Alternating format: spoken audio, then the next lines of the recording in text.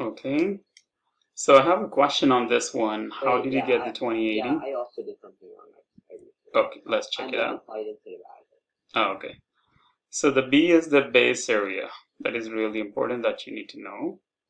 And once you have the base area, and then you can find the other one. There you go. Yeah.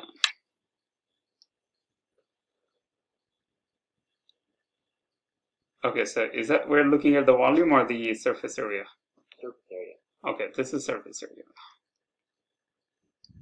Good job. How about the volume? Oh, okay. Volume equals to base is 10. Okay, Okay. How do you get the 60? because the base is 10, because the base area is 5.2, so it's 10, and then the height is 6, so you times it by 6. Excellent. So the B is means base area.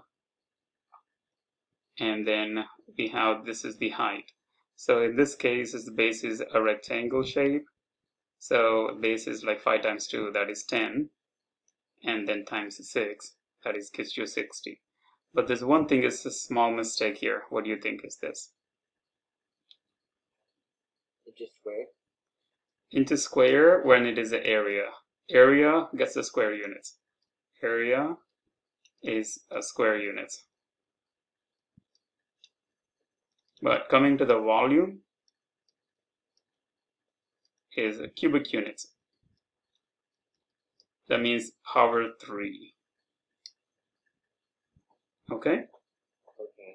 Yeah, remember that anytime you're finding an area, surface area, lateral surface area, anything end up with the area, you're gonna just put a square units, just like this. But anything as a volume, you have to put a three. It's a cubic units. Okay? Yeah, okay. Okay, good. It's really important. I just don't want to miss it, this part. Because uh, if, if you're finding the length, the width, or height, because it's only like one dimension, so it's going to be like inches or in the, just a regular unit. Good? You guys both understand it? Yeah. Okay, good.